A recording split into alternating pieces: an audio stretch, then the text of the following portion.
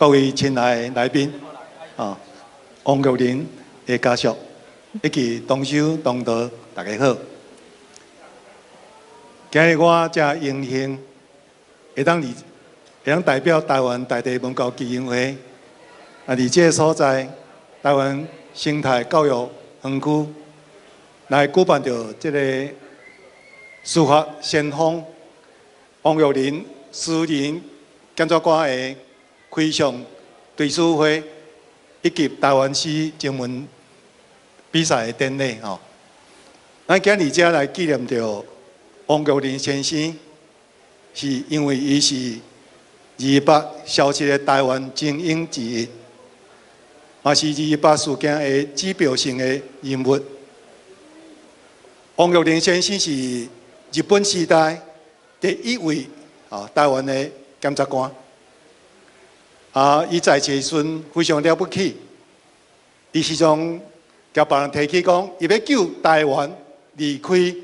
艰难的时时代是伊做检察官的目标，嘛伊一生的理想。啊，这种的精神啊，是在值得咱来学习甲敬佩。啊，有关于王玉林先生的经历内容非常的多。啊，请各位来宾来参标着咱手中的手册。另外，对家属的走总。哦，咱知影过我一个资料，知影讲原来王玉林是一位私人的检察官。哦，伊的专业是伫司法领域，可是伊对文学有深深的研究。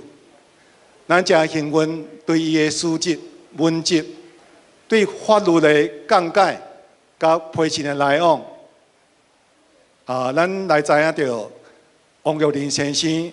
伊对台湾文化的是真骄傲，哦，在台湾长期以来努力推广着台语文文化的台湾团体，啊，为着推广着啊每年三月十四的台湾诗人节，来表示着对王玉林先生的思念，哦，嘛是鼓励讲。少年人会当投入到台语文的创作，所以拢举办着台语文征文的比赛。啊，对这个活动本人非常肯定，也，甲认同。啊，台湾大地文教基金会自上二零零四年，就是二十年前、二十年前，推广着台湾人拜台湾神的社会运动。啊，台湾省这三字是代表着对二二八事件以来，在台湾近代史各行各业为台湾这个土地来牺牲奉献的代表。王玉林先生会当成为我所敬佩的台湾神，因为伊是为普世价值来牺牲。换句话讲，伊就是。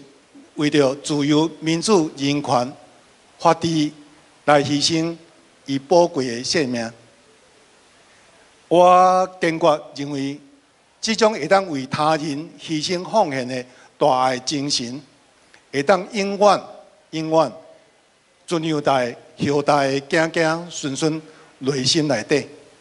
在此，咱会当一直甲弘扬广大这种精神。我想，台湾将来一定成为全世界民主社会的模范国。就此，谢谢大家。好，多谢陈医师吼。诶，大地甲圣山是由阮的创办人杨树东医师，伊是一位中医师，由伊创办的。